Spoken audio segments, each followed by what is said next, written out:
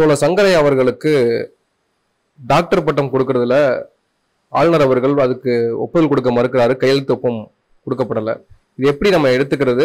இது உங்களுடைய பார்வை என்னது இல்லை அவர்களுக்கு பொதுவாக மார்க்சிஸ்டுகளை பிடிக்காது.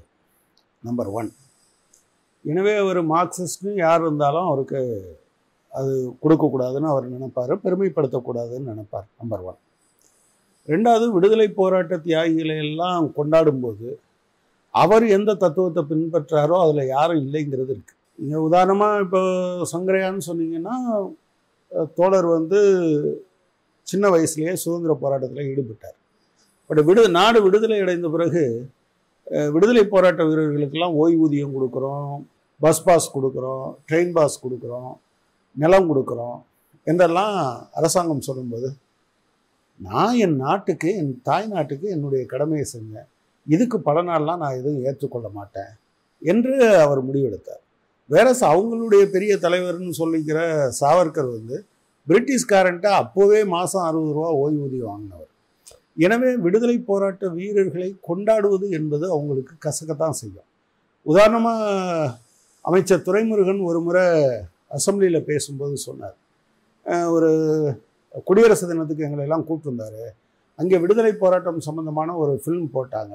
அதில் மகாத்மா காந்தியே இல்லை அப்படின்னு சொல்லி. காந்தி இல்லாத ஒரு விடுதலை போராட்டம் என்பது எப்படி இருக்கும்? அப்போ இவங்க என்ன அவருக்கு அடிப்படையிலேயே இந்த வெறுப்பு இருக்கு ஆக்சுவலாக விடுதலை போராட்ட வீரர்கள் என்றால் இருக்கிற வெறுப்பு. ரெண்டாவது இதையெல்லாம் உணர்ந்து கொள்கிற அளவுக்கு அவருக்கு சக்தியும் கிடையாது. இது பெருமைப்படத்தக்கது என்று அவர் சொல்ல மாட்டார். பட் என்னையை பொறுத்தளவில் என்னன்னா இந்த மாதிரியான ஒரு நபர்கிட்ட போகும்னா அதை அனுப்பியிருக்கவே கூடாதுன்னு நான் நினைப்பேன். சி இது என்னன்னா உண்மையிலேயே என்னன்னா தோழர் சாய்நாத் அவர் வந்து ஒரு பெரிய பத்திரிகையாளர். அவர் வந்து விடுதலை போராளிகளுடைய களம் விடுதலை போராட்டத்தில் களப் போராளிகள் அப்படின்னு ஒரு நிறைய பேரை பற்றி எழுதுறாரு. அதில் அவர் இதையெல்லாம் எழுதிட்டே வரும்போது அவருக்கு என்ன தோணுதுன்னா ஒரு பதினைந்து நாள் இருக்குது ஒரு பத்தொன்பது வயசு பையன் ஒரு மனப்போராட்டம் இருக்க தானே செய்யும். பதினஞ்சு நாள் முடிஞ்சுன்னா பிஏ முடிச்சிருவோம். ஆனால் நம்மளால் பிஏ பிஏ முடிக்கிறதா? இல்லை விடுதலை போராட்டத்தில் கலந்து கொள்வதா என்கிற ஒரு மனப்போராட்டம் இருக்க தானே செய்யும். அப்போ பதினைந்து நாள் இருக்கிற போது இல்லை விடுதலை போராட்டம் தான் முக்கியம் அப்படின்னு நினச்சிட்டு ஜெயிலுக்கு போகிறார் பத்தொம்போது வயசுல பதினெட்டு மாதம் சிறைச்சாலைக்கு போனவர் தொடர் என் சங்கரே. அப்போ அவர் அந்த புத்தகத்தில் என்ன எழுதுறாரு அப்படின்னு சொன்னால் ஒரு ஆங்கிலேயர்களுக்கு எதிரான போராட்டத்தில் ஒரு- ஒரு பதினஞ்சு நாளில் டிகிரியை தவற விட்டுருக்காரு. அமெரிக்கன் காலேஜில் படித்த போது எனவே இப்போ அந்த மதுரை பல் பல்கலைக்கழகம் இவருக்கு வந்து டாக்டர் கௌரவ டாக்டர் பட்டம் கொடுக்கறது தான் பொருத்தமாக இருக்கும்னு எழுதுறாரு. அதை தமிழ்நாடு அரசாங்கம் ரைட்டு. ஆமாம் அவர் சொல்கிறது சரிதான்னு அவங்க எடுத்துக்கிறாங்க. அதன் அடிப்படையில் தான் அவர் அறிவிக்கிறார். அறிவிச்சா அதை வந்து செனட் ஏற்றுக்கிறது சிண்டிகேட் ஏற்றுக்கிறது அதை அனுப்பி வைக்கிறாங்க. இவருக்கு என்ன பிரச்சனை? இவர் அதை வந்து மறுப்பது என்பது இருக்கு இல்லையா? அது எப்போதுமே நீங்கள் பார்த்தீங்கன்னா பைபிளில் ஒரு வாசகம் உண்டு. பன்றிகளின் முன்னே முத்துக்களை போடாதீர்கள். அது வந்து அதை மிதித்து அசிங்கப்படுத்திடும் என்பது. ஸோ என்னன்னா முத்துக்களை பற்றிய ஒரு எண்ணம் இருக்கு இல்லையா அது கவர்னருக்கு எப்படி இருக்குங்கிறத நீங்கள் அவர்கிட்ட தான் கேட்கணும். இல்ல இப்போ ஆகஸ்ட் மாதமே வந்து மதுரை காமராஜர் பல்கலைக்கழகம் வந்து தீர்மானம் நிறைவேற்றி அது வந்து அனுப்பப்பட்டதாக சொல்லப்படுது. அப்படி இருக்கிறப்போ ஆகஸ்ட் மாதத்துல இருந்து இப்போ வரைக்குமே வந்து இப்போ தமிழ்நாடு அரசாங்கம் வந்து அவங்களுடைய நிலைப்பாடு என்னவாக இருந்தது? அவங்க என்ன முயற்சி எடுத்திருக்காங்க?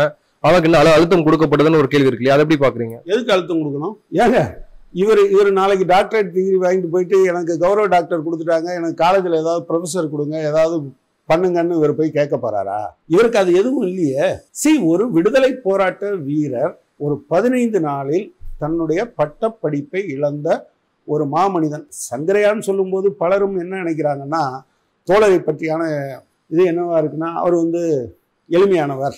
அப்படின்னு மட்டும் இருக்கு. அது இல்லை. நீங்கள் தகைசால் த- தமிழர் விருது கொடுத்தா உடனே என்ன பண்றாரு? சரி பொதுவாக கம்யூனிஸ்டுகள் விருதுகளை பெற்றுக்கொள்வதே கிடையாது. ஆனால் சரி நூறு வயசை தாண்டினவர் தமிழ்நாடு அரசாங்கம் ஒன்று அறிவிக்குது.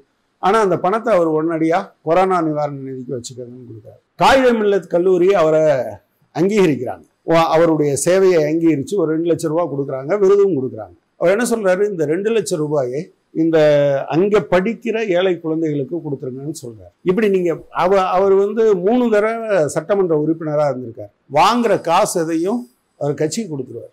ஓய்வூதியத்தையும் கட்சிக்கு கொடுத்துருவார். சி அப்போ இன்னொன்று இன்னொரு வகையில் பார்த்தீங்கன்னா இன்னைக்கு நீங்க ஆணவ கொலை அல்லது ஜாதி மறுப்பு திருமணங்கள் வந்தா எப்படி நடக்குதுன்னு தெரியும். அவர் அவங்க மிஸ்ஸஸ் வந்து ஆக்சுவலாக அவங்க கிறிஸ்தவ சமூகத்தை சார்ந்தவர். வேறு ஜாதியை சார்ந்தவர். இவருடைய குடும்பத்தில் பார்த்தீங்கன்னா தொண்ணூறு சதவீதம் வரை சாதி மறுப்பு திருமணங்களாக இருக்கும். அது வெறும் காதல் திருமணங்கள் மட்டும் இல்லை. நீங்கள் இவங்க அரேஞ்ச் பண்ணுற திருமணங்களே அப்படி தான் இருக்கும்.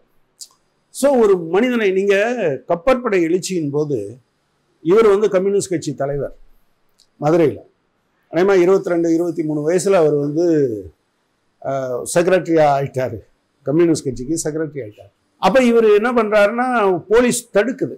இவர் அதை முடிஞ்சா பாடுறா அப்படின்னு சொல்லிட்டு போறாரு. அவர் ஒன்றும் மன்னிப்பு கடிதம் எழுதுகிற பரம்பரை கிடையாது.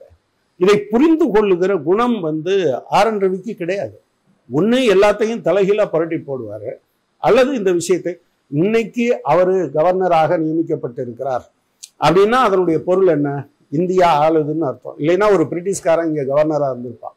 இதுக்கான அடிப்படையை உருவாக்கியவர்கள் அவர் ஒருவர். அதை ஒரு பல்கலைக்கழகம் அங்கீகரிக்குது அரசாங்கம் அங்கீகரிக்குதுன்னா அதை நிராகரிப்பது என்பது கற்பூர வாசனை தெரியாத நிலைமை தான். வேற என்ன சொல்றது? இதுல வேந்தராக அவர் இருக்கிறார் அதனால வந்து அது அவர் மீறி செயல்பட முடியாதுன்ற ஒரு பார்வையும் இருக்குல்ல அதை எப்படி பார்க்கிறது நம்ம? அவர் கொடுத்தா என்னங்க கொடுக்கலைன்னா என்னங்க? அது ஒரு பெரிய பிரச்சனையா? தோழ சங்கரையா என்கிற மனிதனுக்கு விடுதலை போராட்ட வீரர் என்கிற கம்பீரம் தோழர் என்கிற கம்பீரம்.